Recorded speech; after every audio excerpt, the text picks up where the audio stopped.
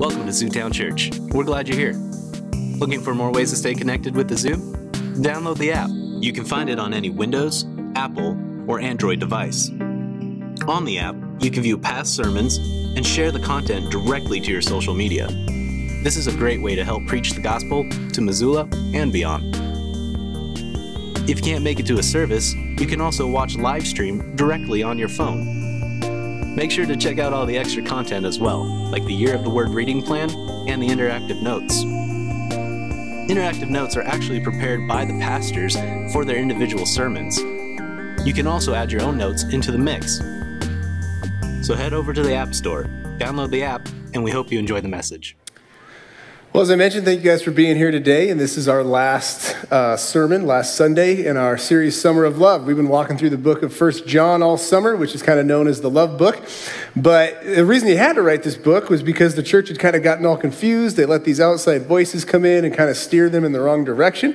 So it's actually kind of an intense book, but he writes it all in love.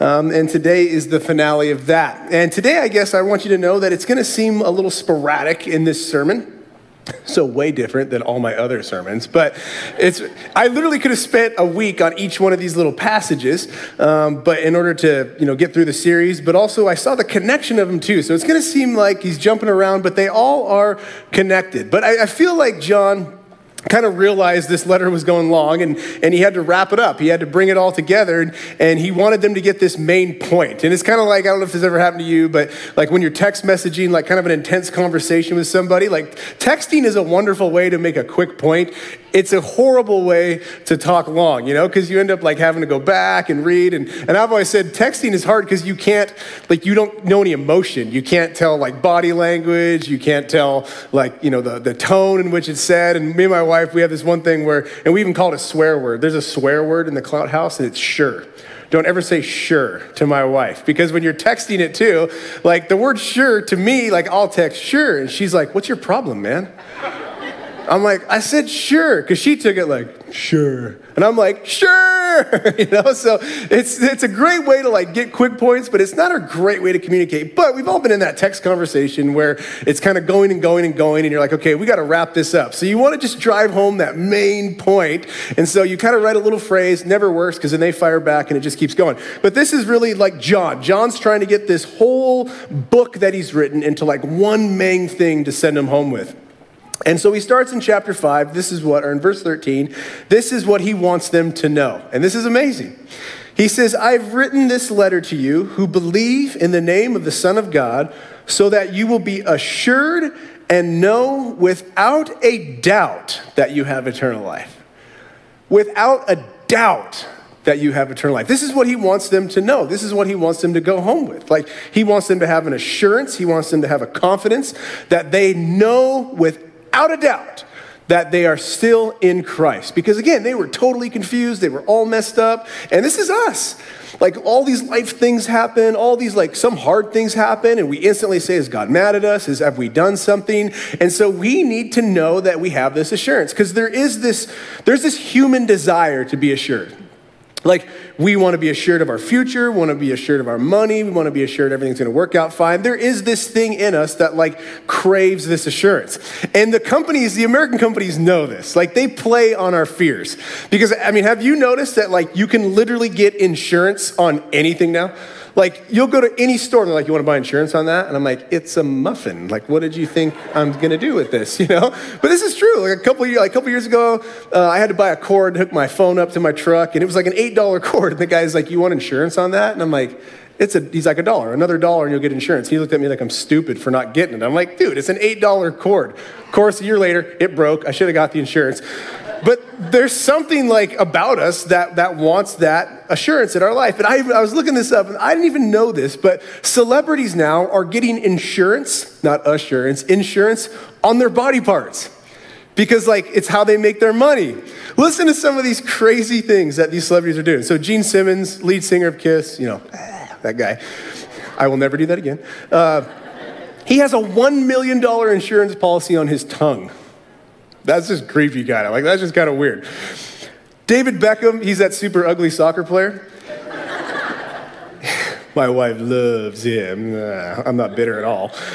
He has a $195 million insurance policy on his legs. What'd you say? Yep. You seen him? You like him? That's what you're saying that for? No, he's like he's a soccer player, right? And so like he's a model, and so he's if he gets hurt playing soccer, 195 million dollars for his legs. Troy Polamalu, he was the safety for the Steelers. He did all those like head and shoulders commercials. He's got glorious head of hair. He has a $1 million insurance policy on his hair.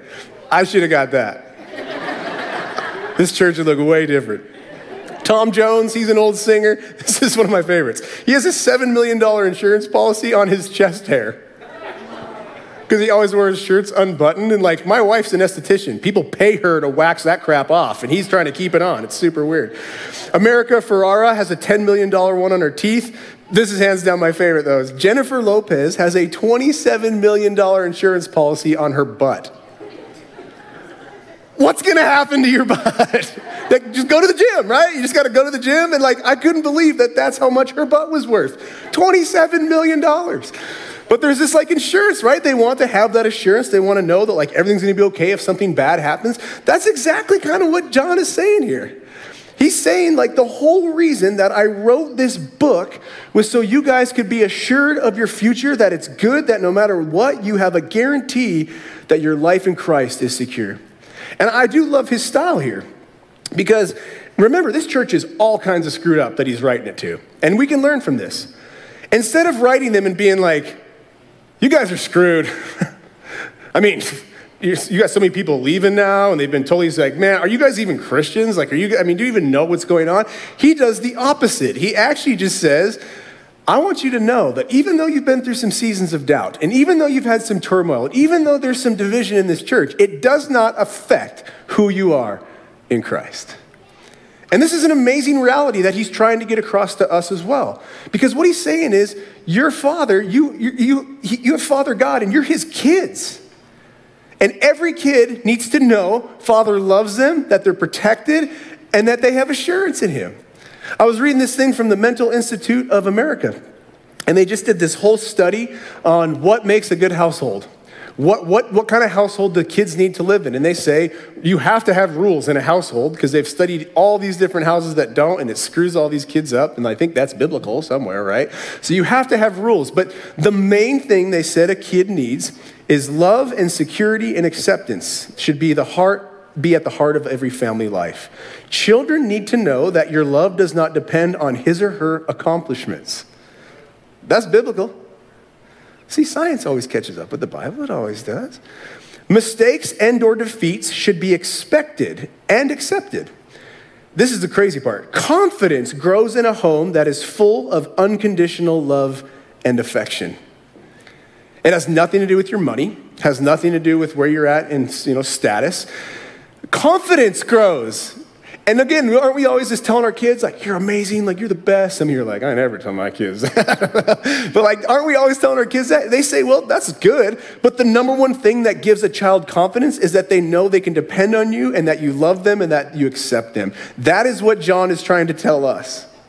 Because as old as we get, and the older we get in Christ, sometimes we think we're going to like move on, you know, to these new things. And he's saying, no, I don't care if you're 60, 70, 80, doesn't matter. The main thing you need to know is that you are loved and accepted by your Father, no matter how old you get. And this is an incredible reality that we all need to grasp because here's one of the problems with Christianity. I'm not saying this church, but as a whole, is it has become a shameful place sometimes because we're constantly looking at the outside. We're constantly judging people's actions. We're constantly like ranking Christians. And so religion sweeps in, shame creeps in, and we start like getting, I mean, this is true. Some denominations, some people believe that like you basically lose your salvation every day depending on how you acted. Well, why did we need Jesus then? And so, so many people, this is important. You will live your whole Christian life without the Holy Spirit power filled way that we should be living because you're so concerned if you're in or out, in or out, in or out. And when you're thinking that, you know who you're thinking of? You. You're constantly just thinking about yourself. And so you're constantly, you never have that assurance. And again, this whole series has been him basically receive God's love, and then you love others, receive God's love. You can't love others because you have even received the love of God. And we become cynical, we become angry, all those different things if we don't have the assurance from Christ. And they even said these kids that they're studying, um, if they don't get that at home, they do go get it other places. They will. There's something in us that needs this assurance, and it's money, drugs, or some sort of relationship. As we get older, it's the same way. If we do not find that assurance and that acceptance and that confidence in Christ, we will go to other places to find it. But we weren't designed that way. I love what Bill Johnson says. He says, Royalty is my identity, servanthood is my assignment, and intimacy with God is my life source. Those are three, if we could just get those three down, like royalty.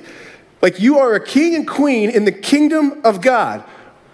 But being a king and queen is not lording it over people, it's servanthood. Servanthood is our assignment. But then the source of life is in God.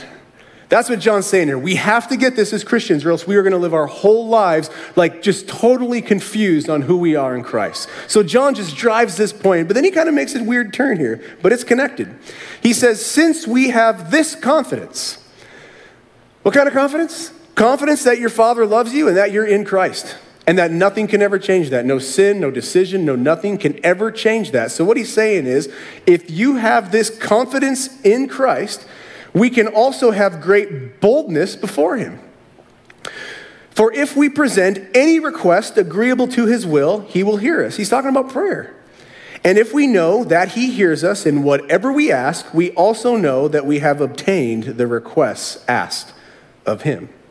Now, I know that that passage right there causes a ton of frustration with you and with me.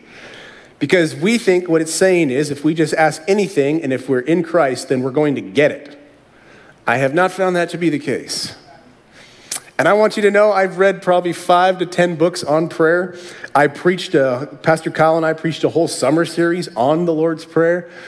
And I still don't really know exactly how this works. I think back to my daughter. My daughter was born with really bad colic. She didn't sleep. I mean, it was bad. It was bad, bad. We didn't sleep. And I tell people this, they don't believe me. It was years. As soon as she gets over colic, she goes right into night terrors. And we would be up night after night after night after night, and I would be in my garage at three in the morning, like just pleading with God. I mean, I said a lot of naughty words at three in the morning. I never cussed at God, but it was where I was at, man. It's what I was feeling. It was real, and God's a big boy, He could take it.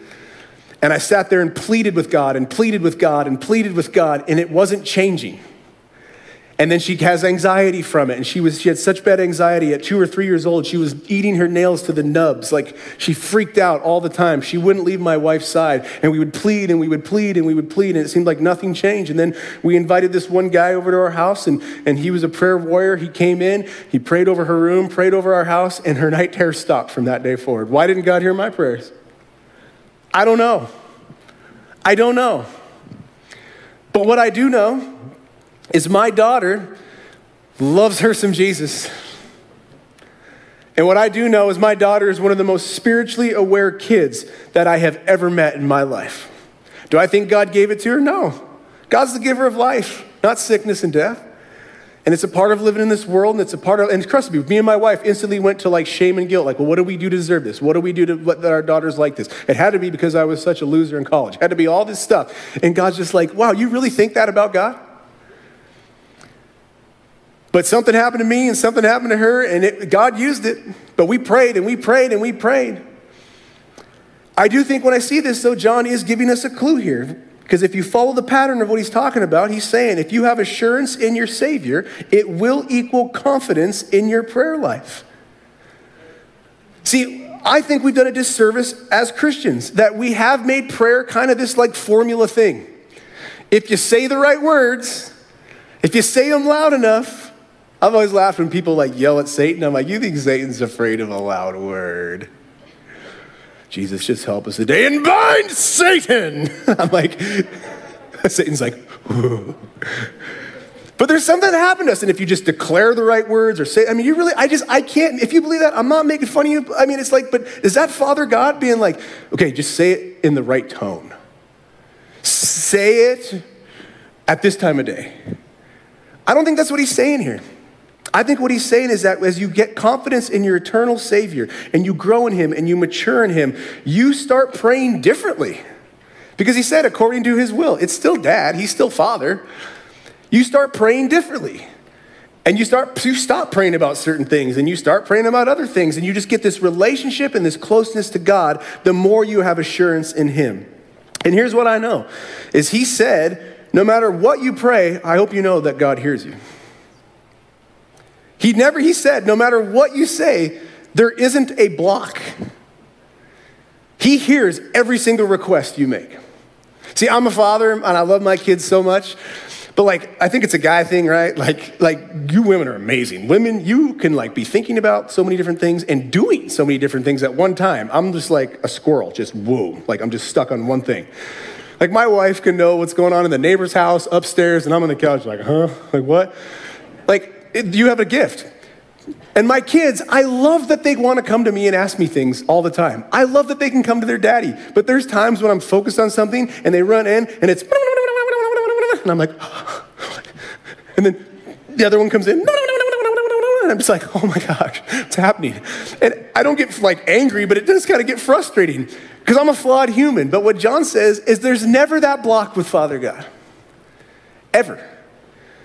And that we need to have this confidence. What about that boldness? They, my kids are bold in coming and asking me things. They're bold in needing help. They're bold in coming to me. And I'm not against having humility with God, but I think sometimes we're kind of like, yes, God, if, hey, are you there? And he's like, bust in the room, you're his kid. And again, we try to make this like, I'm all for you having your morning prayer time. You should. And I sit on my porch at night for my evening prayer time. But do you really think Father God's up there being like, if they would just pray at four in the morning, I would do this? my time is at eight o'clock at night. I don't know if you kids knew that. It's all day, man. It's all day, and it's always talking. It's bringing all these things to Him. One man says this prayer is not trying to get what you want, but what God wants for us. I'm going to read that one again. Prayer is not trying to get what you want, but what God wants for us. And as I've matured now in Christ and I've grown in Christ, I totally ask Him for everything and, and, bring everything to Him, but it's more of like a guidance and a suggestion. It's more like, Lord, if this is it, if that's it, I mean, I need your help, I need your guidance. And see, here comes the next question, though, that I want to answer, which I really can't. Why even pray if He already knows? Most of us have asked that, and most people struggle with that. Why even pray if He already knows the answer? Well, why do kids start asking for Christmas presents in July? Literally, my kids are already coming to me being like, I want this, this, and this, and they got it all mapped out. And I'm like, what month is this? It's like August. But I love it. I love that they will come to me. They know I'm good. They know I want to do it. Do I do everything? No. But they will ask me for everything. But I'm the father. I know them. I know timing. I know all that stuff. But you know what really bummed me out? Is if my kids only talked to me when they wanted something. It would bum me out in September or in December. They're like, okay, I just want this. And then I didn't get to talk to them really ever. I couldn't go a day without talking to my kids. I'm going to be that dad. I'm going to be that dad every day. I'm into my 60s or 70s. Like, Easton, what's up, man? How's it going? I'm just driving to work, dad. I know, right? Let's talk for a little bit. You know, like, I'm going to be that dad. So that's what I think he's saying. It's this relationship and it's this is timing. And sometimes he says yes, sometimes he says no. I mean, a couple years ago, my son asked for an iPad because Lily got an iPad. He was three. And he was like huffing and puffing. Little man, what's up? I love that guy. That's my man. He gives the best hugs at the door. But you know, he was all like, come on, Lily got an iPad. I'm like, you're three years old, bro. Well, he finally turned six and we got him an iPad. But you know what else we got him? We got him a whole thing of Legos too, so he doesn't melt his brain. I want him to still be creative, and they're doing mass studies now on if you let your little kids play too much iPad, it's like affecting their emotions, like that stimulation. So we give little certain times of the day, we block them off after a while. Like we we wanted to give him that, but we also still are. I'm his father. I still know best, but I love that he asked for it. So here's another thing is do I believe, am I telling you not to ask for things? Am I telling you not to just, you know, ask for what you want? Of course not. He's our daddy. And here's something that I believe that you might not believe, that's okay, but I actually believe God changes his mind sometimes. I believe that God has an overall plan of redemption, and I believe in revelation and all that stuff. But I think it's just like we have a plan for our children. All of us have a plan for our kids. But there's many surprises along the way. And we direct him down this certain path, and I think he's so good that no matter what, he will meet you on that other road and get you on that right road because that's what he's, he's that's what he does. But I don't think he's above changing his mind. Like, yeah, all right, I'll do that. But maybe you should ask. I see this in the Old Testament. Abraham pleaded with God for the city of Sodom and Gomorrah and the righteous people, and God listened. You see it with Moses when he wanted to destroy them. I mean, like, you see this. And I think the greatest example to me is Jesus Christ, his first miracle. When he was going to turn water into wine, he was at a wedding, and his mama comes to him. She's a smart mama. She's like, uh, Yo, Jesus, they're out of wine. Party's about to die. And he's like, What is that to me? My time has not come. Jesus said that. So Mary just says, Well, do whatever he says. And he walks off, and Jesus did it. So what I think happened is Jesus had a talk with dad, and dad said, eh, We'll make it the right time. That's, to me, that is such a better way of relationship with Father. And yes, he says no. Sometimes he says yes. I mean, he does. And before I move on from this, I want you to know, because again, some of you are still struggling because you have people who are sick in your family, or you're sick. I think often what we do is uh, when we pray and we pray and we pray, we make it so personal because it should be. Those are your kids, that's your family, your brother, your wife. It's so personal to us. And oftentimes we miss that, that God is doing something in that person's life who is sick or going through financial troubles or whatever it is. We do make it so personal, and we should. And I'm not telling you to stop praying. Keep praying, keep praying, keep praying. But what I started to do now is I just I started doing like what Paul did. If you ever see Paul write these letters to the people who were all like going through persecution, he never once prayed for their persecution to end. I never see that. Or when he was in jail, he never prayed to get out of jail. He always prayed that he drew nearer to the Father and the Father to him in those times. And so now, yes, you should pray for sick people. You should ask for healing but then you have a trust and a confidence that your Father is good and that your Father is working on something that we don't even see. And you just keep coming to Him and coming to Him in that confidence and that boldness. Then He makes another turn. Again, remember, this is his last text message. He's like, I'm trying to get all this out to you guys. But he's in the, he's talking about prayer now, confidence in prayer. If anyone observes a fellow believer habitually sinning in a way that doesn't lead to death, you should keep interceding in prayer that God will give that person life. Now, there is a sin that leads to death, and I'm not encouraging you to pray for those who commit it. All unrighteousness is sin, but there is sin that does not result in death. Now, there are a lot of smart people who have debated what that sin is. And it's funny because don't we kind of want to know? Like, I don't want to do that one because you'll, you'll die from it. There are so many smart men and women that I've read on this, and they have so many different views of what this is. My personal view, in looking at the context of this passage, and I just preached on it last week, was this church was all screwed up. They let false beliefs come in, and some of them left the church. Some of them were mad at the church. Some of them followed false things. They basically denied the Lord Jesus Christ. I think he's talking about people who have done that. I think he's talking about people who are just like, forget Zootown or forget this church or forget that. And like, you know what? I just, I don't even believe this anymore. I think he's talking about them. But I don't think he's being a jerk about it. Because Paul talked about people leaving. Jesus had his own disciples in John 6, somewhere around there. It says, many of his disciples left because they loved it when he was feeding them. But as soon as he started talking about some sin and stuff, they were like, whoa. So I think sometimes when people want to leave, he seconds their motion. And I, he didn't say you couldn't pray for him. He just says you don't have to. But I don't even think that's harsh. What he's doing there is he's saying, let them go that way so they come to the end of themselves. Every person that I know who ever leaves, they never get more joyful. They get more cynical, they get more bitter, they get more angry, they get more gossiping, gossiping, slanderous. That's where they go. And so he's like, dude, back up. Because you know what won't bring them back? And so he's turning them over to Jesus. And Jesus is a long suffering Christ. And we know from the prodigal son story and all those sheep stories, he goes after those who are lost. So I'm, I'm, I'm the guy who steps back and says, let him go. Jesus, you got him. Because he's way more grace filled than I am. They don't need Scotty up in their face, they need Jesus restoring them. Paul had this happen all the time, all the time. Paul would come, plant a church. He'd leave after a couple years. Then this other group would come in and they'd just trash Paul, saying he's stupid and all that stuff, just like today. Listen to how he said he fought it. Of course, we are human, but we don't fight like humans. The weapons we use in our fight are not made by humans. Rather, they are powerful weapons from God. With them, we destroy people's defenses, that is, their arguments and all their intellectual arrogance that oppose the knowledge of God. What he's talking about is our lives. What he's talking about is the weapons of the Lord. And again, we live in a society, in a world where everything's intelligence, everything's about advancement, human advancement. How's the world doing? We got lots of science, we got lots of stuff. How's it going out there? It's going great, going real good. As one pastor said, science has given us life to our years to our life, but not life to our years. And I kind of agree with that in one sense, but medication does help people who are suffering, so I don't fully agree on that. But I get what he's saying. And so what Paul is saying is like, look, how, what are we going to use against this, you know, these arguments? Well, it's our life. Love, joy, peace, kindness, goodness, faithfulness, all that stuff. So they see it and they're like, I want that. I want that because whatever I'm doing out there is not making me any happier.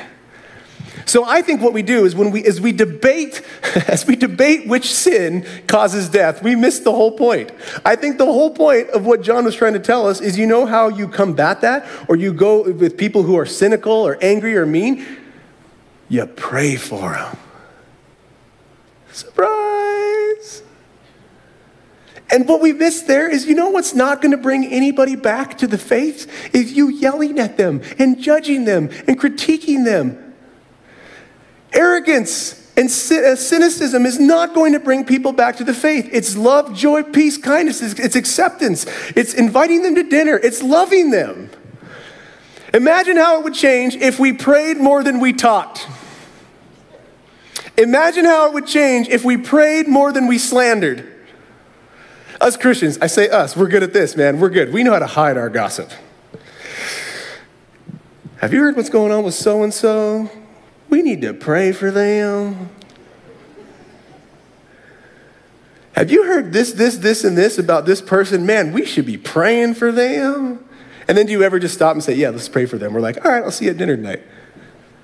It's a fake way to hide gossip and slander. And he says, if you are really serious and you really have a heart for people, you will be praying and interceding for them.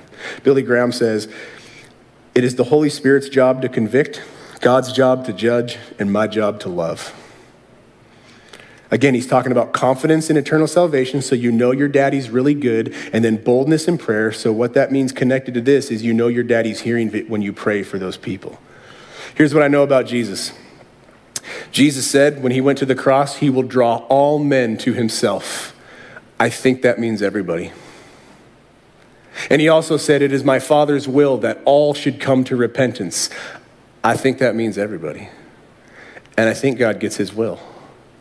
And so you put those two together, and I'm here to tell you all the prayers in the world that God hears that we're praying for other people, he wants it way worse than we do and we are putting it in his hands and we are trusting that he's good and that he will do anything to bring those people back. You who have wayward children in here, keep praying. You who have some of you in here, you're here alone because your spouse won't come. You know what's going to bring them to the faith is when they see the love and the joy and the acceptance of Jesus Christ in your life. You who have relatives, you who have unbelievers at work, whatever it is, it's not going to be by spitting judgment at them and holy roller stuff. It's going to be by prayer because you know I have confidence, man, Jesus, you want this guy in church way more than I do. So that's why I think he's bringing this all together. I think of my father. My father got cancer at 51. Six foot four, built like me, didn't smoke, didn't drink, worked out every day, and got the worst kind of cancer you can get. Did God give my dad cancer? No. Sin does. This life does. It's the earth. But we prayed and we prayed and we prayed for my father to be healed, and he died. But I'm here to tell you, my father got healed because he came back to Christ after 40 years of not living with Christ. He came back. And so God heard the prayers of my mother, and God heard the prayers of my grandfather, and my father came back to Christ when he was sick, and he's in heaven today. Keep praying for those wayward people. Keep loving those wayward people, because at one time or the other, I think we're all those people. And so he, this, that's the clue here. It's not about like, what sin is that? How can I call that sin out? It's like, how can I be praying that God intercedes in that person's life and know that he wants it more than we do? He makes another turn here. He says, We are convinced that everyone fathered by God does not make sinning a way of life because the Son of God protects the child of God, and the evil one cannot touch him. We know that we are God's children and that the whole world lies under the misery and influence of the evil one. Again, people who mock the Bible, like that's pretty evident right there. There's a lot of misery out there. And we know that the Son of God has made our understanding come alive so that we can know by experience the one who is true. And we are in him who is true, God's Son, Jesus Christ, the true God and eternal life. So, little children, I love, he's writing it to grown adults. To little children, guard yourselves from worshiping anything but him. The end. Again, this is a passage, if you read that first line, this one scares us. We are convinced that everyone fathered by God does not make sinning a way of life. And right there, that's when our religious spirit kicks in. That's where Scotty's pride kicks in. And that's where shame and doubt kick in. Even though he already told you you are secure in eternal life, because some of you are struggling so hard. And the first thing we do is we feel separated from God and we think, oh my gosh, could I actually be a Christian and continue to do this? And you think, maybe I'm not fathered by God. And I used to think that because I, I mean, I struggle. I still have sin, but I struggled hard in my first five years of Christianity. Like, it was hard coming from this party boy lifestyle into all of a sudden this, like, Bible dude. And I used to think, like, did it, was it real? Did it happen? And then the Lord totally just did a 180 on me and he just pumped me up so much. He said, Scotty, if you weren't fathered by me, you wouldn't even be thinking about if it's right or wrong. And so let me give you some confidence in here, you who are majorly struggling with sin and you've had them for years and years and years and you just want it gone. It proves you're fathered by God because you're concerned about it. People who aren't fathered by God, they don't think about that stuff. They don't care if they're sinning. It's like when I was a little kid, right? When you were on the block, did you care what the neighbor dude down the street thought, or did you care what your daddy thought? So if you are struggling, yeah, he's going to help you get over it. And he doesn't like it, but that proves, if you are aware of your struggles, if you are aware of your sins, that proves that you are fathered by God. To me, it's kind of like a bank account, right? Money is a stressful thing. It's a tangible thing that we have that we can stress about. And at the beginning of the month, when you get that check or whenever you get paid and you see it in your bank account, you kind of go, Whew. Don't you have more confidence when your bank account is full?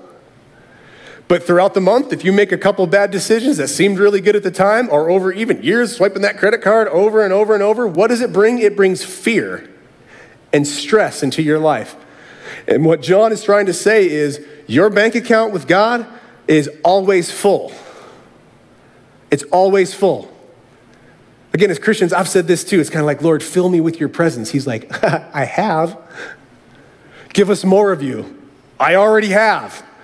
We think God's a gas tank. He is not a gas tank. We are the gas tanks. And again, you might not agree with this. That's fine. I do.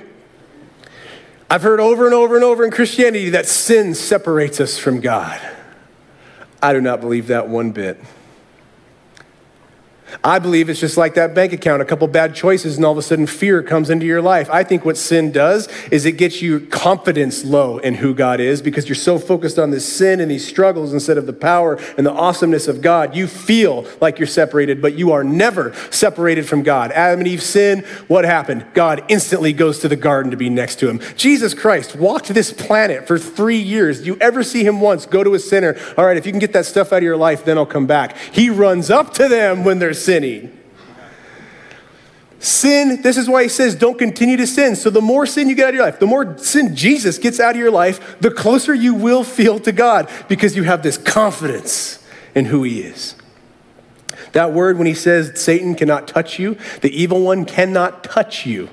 It comes from a Greek word that they, it's a powerful word where they would take papyrus and crinkle it up and light it on fire. And so essentially what he's saying is no matter what struggle you're going through in your life, no matter what sin you have in your life, if you are in Christ, Satan cannot light you on fire because any good father protects his kids. No, fathers are supposed to protect their kids. And so, what he's saying is, man, Jesus and the Father will protect you from any type of judgment or any type of eternal fire. It is in Christ. None of that. You will never be judged for your sin on this planet because it was on the finished work of Jesus Christ on the cross. So, notice this confidence theme. What kind of confidence do we have in this?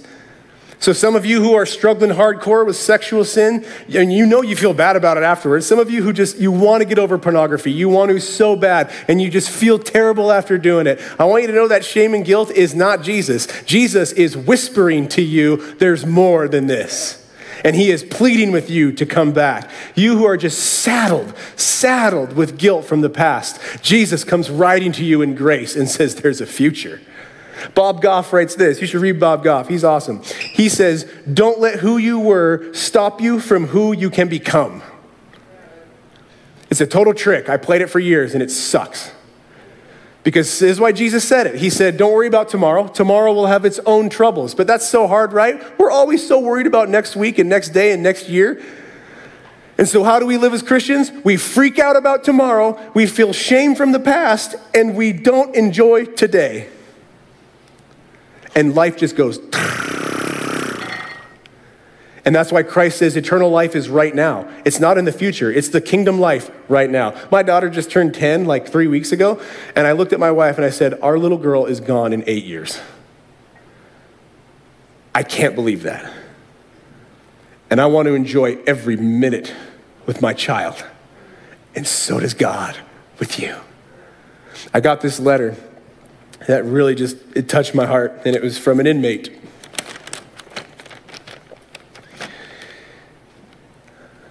I think i got all my tears out at the 8.30 and 10 so i'm hoping i can get through this.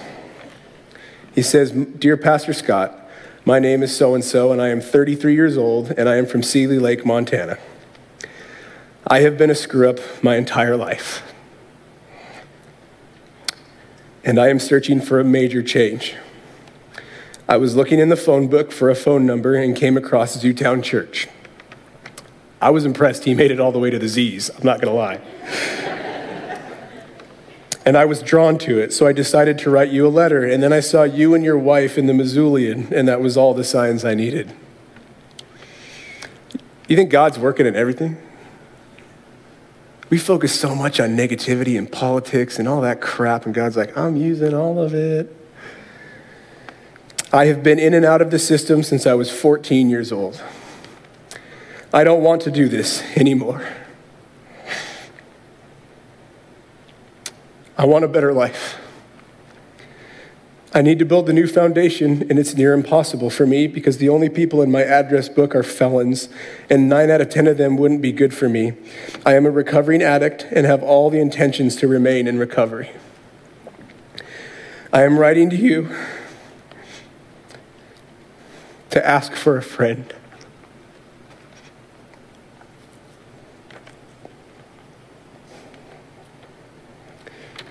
Someone who can write me or come by the jail and be a positive influence for me and possibly give me some guidance because I don't know how to be successful.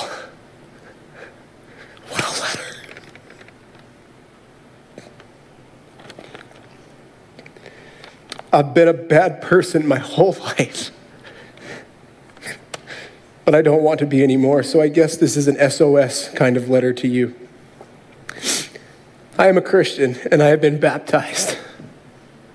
I believe him. You don't write this. I believe him. But I have never stayed on the course that my heart wants to go. I have a craving to help others, but haven't been able to. And I feel like God is my only chance. If I don't change, I am going to end up dead or in prison for the rest of my life. I am currently in the program awaiting treatment in Missoula County Jail, and I pray this letter reaches you. I hope there's someone there that fits the description of someone who could mentor and guide me to become a real Christian. I am writing this with a genuine heart and hope to hear from someone soon.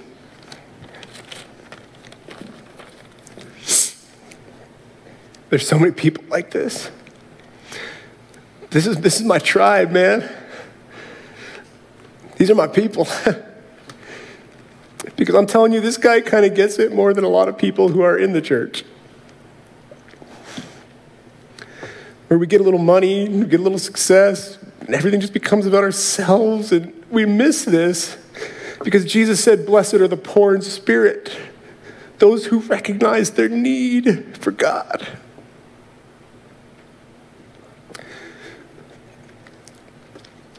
This is why it just bugs me so much when people trash this place, not for my own ego, but they just they don't even know. Like, this is a place that people like this feel welcomed.